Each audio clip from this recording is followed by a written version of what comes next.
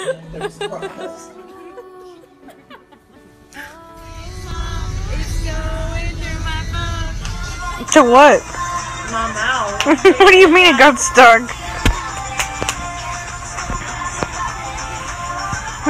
Say, my everyday life consists of major bedhead and puppies. Growing up, I always thought I would beat the odds and have both parents together for my whole life. But at the beginning of my junior year, both my parents' divorce was final. Before this, when hearing other people say that their parents are divorced, I would always think of the perks like double Christmas presents.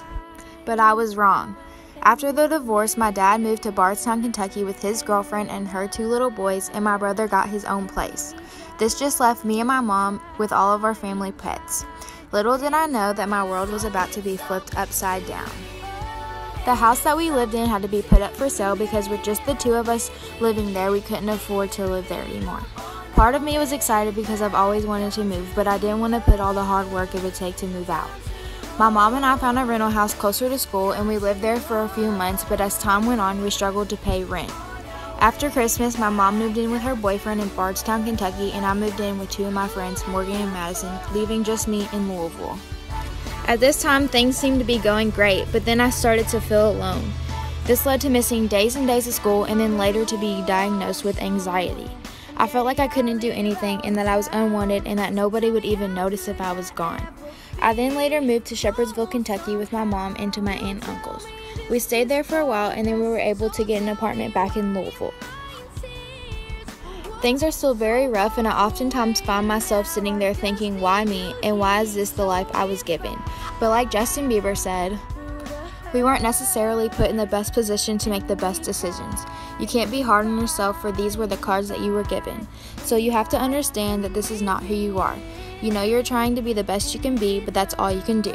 If you don't give it all you got, you're only cheating yourself. Give it all you got. But if it ends up happening, it ends up happening.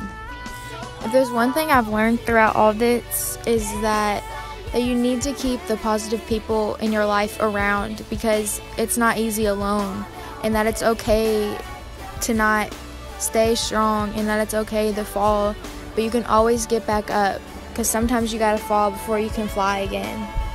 Many people always tell me ever since I was little that I was strong and never let anything get to me and that I have a good head on my shoulders and that's how I've gotten through this. But I also have to give credit to those friends that I've kept around that's made me have a positive outlook on this whole thing.